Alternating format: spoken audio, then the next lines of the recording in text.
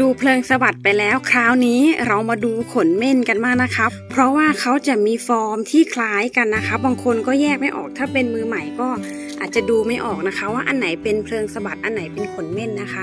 อันนี้คือขนเม่นเขาจะมีลักษณะฟอร์มเล็กกว่าเพลิงสวัดนะคะ ใบและฟอร์มจะลักษณะคล้ายๆกัน แต่ว่าขนเม่นนี่จะมีลักษณะสั้นกว่า และก็แหลมและก็ตั้งตรงกว่านะคะ เนี่ยเดี๋ยวจะเทียบให้ดูนะคะ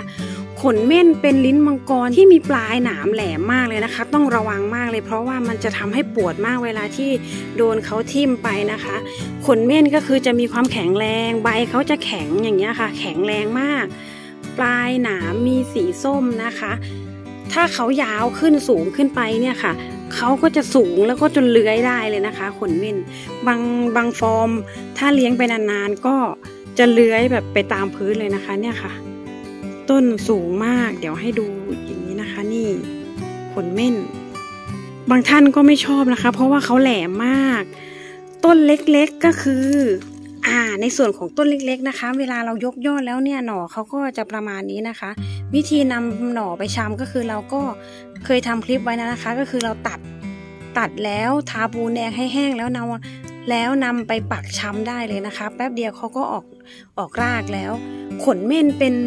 ลิ้นมังกรที่ทนแรงมากๆเลยนะคะ มีความสวยงามหนามแหลมคม เดี๋ยวจะเปรียบเทียบให้ดูนะคะว่าต่างกับเพลิงสะบัดยังไงนะคะ ว่าฟอร์มเขาต่างกันยังไง นี่เดี๋ยวเทียบให้ดูเลย ตั้งข้างๆกันเลยนะคะ จะได้เห็นชัดๆอ่าเนี่ยค่ะ เทียบให้ดูระหว่างขนเม่นกับเพลิงสะบัดด้านขวาคือขนเม่นด้านซ้ายคือเพลิงสะบัดนะคะ ฟอร์มคล้ายกันแต่ว่าเป็นคนละชนิดกันไม่เหมือนกันเลยนะคะ นี่ค่ะให้ดูไกลๆนะคะ ด้านขวาคือขนเม่นด้านซ้ายคือเพลิงสะบัดเนี่ยค่ะขนเม่นมีความแหลมคมมากเลยนะคะ ใบเขาจะเป็นชั้นๆนะคะ ติดกันอย่างเงี้ยค่ะ เป็นชั้นขึ้นไป ถ้าดูแค่ฟอร์มนี่เขาสวยมากนะคะ เนี่ยค่ะ ลายก็มีลายเมฆเหมือนเดิมนะคะ ตามสไตล์ของลิ้นมังกร ซึ่งถ้าทุกคนสังเกตนะคะ จะมีลิ้นมังกรจะมีลายเมฆแทบทุกชนิดเลยนะคะ เนี่ยค่ะ อย่างเพลิงสะบัดก็มีนะคะ เป็นเอกลักษณ์มากเลยนะคะ